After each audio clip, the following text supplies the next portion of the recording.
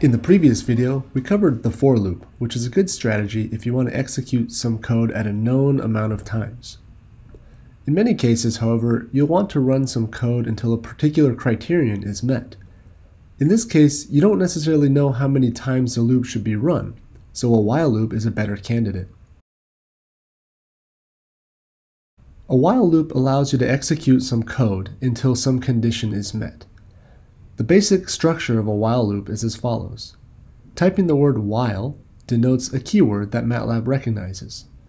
The next item is a condition, which can include relational operators and logical operators.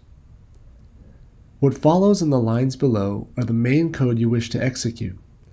These lines of code will repeat indefinitely until the while condition is no longer satisfied. Finally, once the main code is complete, the end keyword denotes the end of the loop and instructs MATLAB to return to the top of the loop and check the while condition again. Let's see a really basic example of this in action. We start with the keyword while, and then state our while condition, being that the value n is less than 10. So, as long as the value n is less than 10, the main code should be executed. In the main code, we can simply increase the value n by 1, and then end the loop. Of course, in this case, we also need to initialize the variable n because the first time through the loop, MATLAB needs a value of n to check against the upper limit of 10. Also, at the end of the loop, we can display the value n so we can verify that the loop runs correctly. What we can expect from this loop is that as long as the value n is less than 10, we'll keep increasing the value n by 1. At the end of the code, after the loop is finished, the result should be that n is equal to the upper limit we placed. Let's look at a variation of this example. One important thing that comes up when coding while loops is the possibility of an infinite loop. This happens when the while condition is initially met so that it enters the main code, but the main code never affects the while condition so that it's never violated. In this case, the code will continue to run indefinitely since there's never a stopping criteria. We can demonstrate this by defining a new variable m that will increment by 1 on each iteration. However, the while condition is still checking the value n at the start of each iteration, and since the value n is never altered in the code, the while criteria is always met.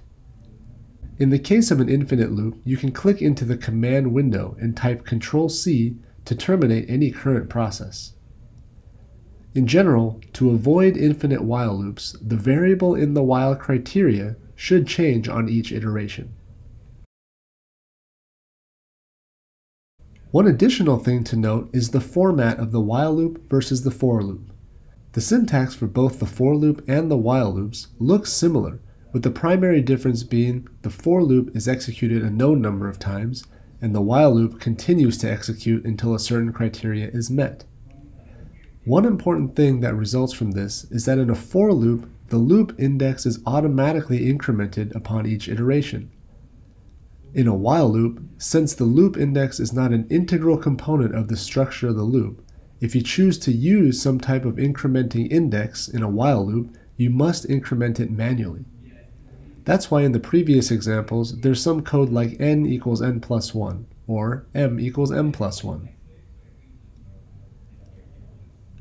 Let's take a look at one more example. In this example, we want to determine the number of consecutive integers we can add up before reaching some upper limit.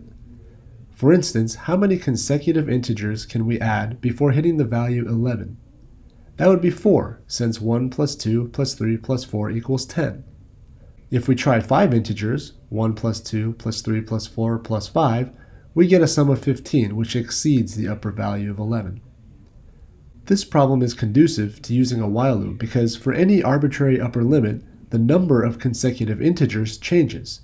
In other words, the number of times the loop will execute will be different depending on the upper value. We can start by defining variables representing the total sum and the current integer. Then we can structure our while loop to check the total sum does not exceed some upper limit. In the main code, we'll first want to increment the integer, and then compute the updated total by adding the current integer to the previous total. And that's it for the loop. We can do a test on a small number so we can verify if the code works. Setting the upper limit to 12 and displaying the total value and the final integer that was added, we get a total of 15 and an integer of 5. Which doesn't seem quite right. We wanted the code to produce the largest total without exceeding the upper limit.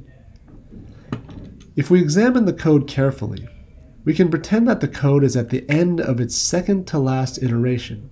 In other words, in this case, n would equal 4 and the total would equal 10. What happens next is that the program goes back to the top of the while loop and checks to see if the total is less than 12, which it still is. So the main code is executed one final time, this time incrementing n so that it equals 5, and then adding 5 to the previous total, giving us 15. Of course, this time when the code returns to the top of the while loop condition, it is now violated, since 15 is not less than or equal to 12, so then the loop terminates.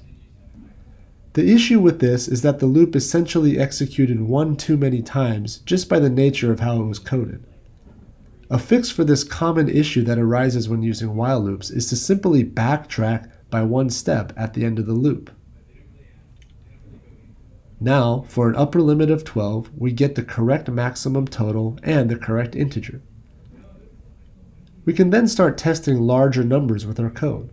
For example, if the upper limit is 1000, then, according to our code, the largest consecutive sum is 990, with the integers 1 through 44 being summed.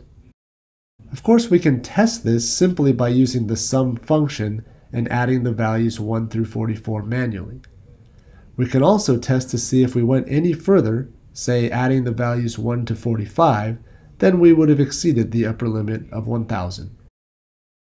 In the next video, we'll explore the if statement and also start combining some of the iterative looping techniques together to solve more complex problems.